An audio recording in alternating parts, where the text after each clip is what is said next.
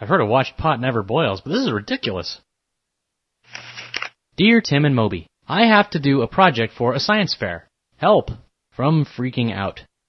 Science projects can seem really overwhelming at first, but they're totally manageable if you take them step by step. The first thing you have to do is find a topic, and there are a ton of resources to help you do that.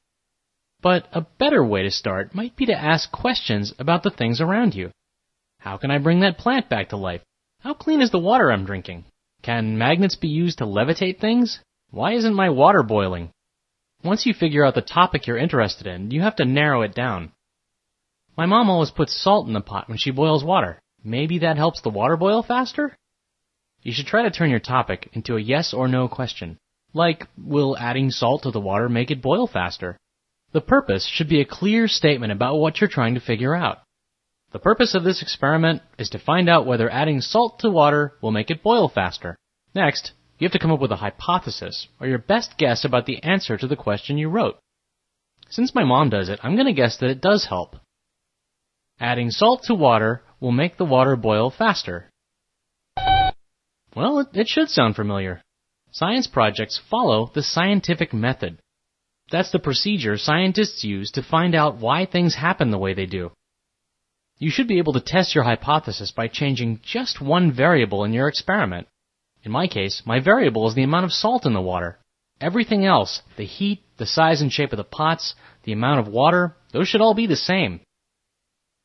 On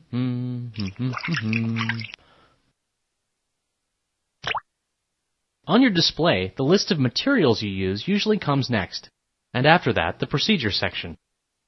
The procedure clearly describes every step you take, even the most basic ones. Hmm.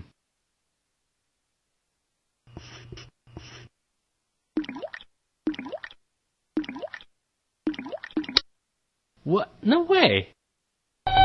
Well, it doesn't really matter if your hypothesis is right. The point of doing a science project isn't to get the right answer, it's just to learn something new.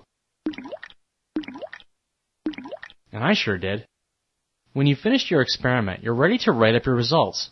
Often, those take the form of a chart or graph. After you've got some results, it's time to write your conclusions. The conclusion should make a statement about what you've learned. Now, we did not learn that my mom's a liar.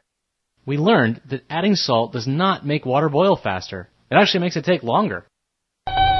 Yep, it's a good idea to spend some time on your display.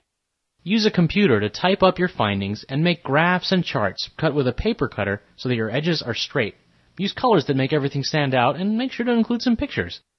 A nice looking presentation helps everyone appreciate the results of your hard work. I need some salt.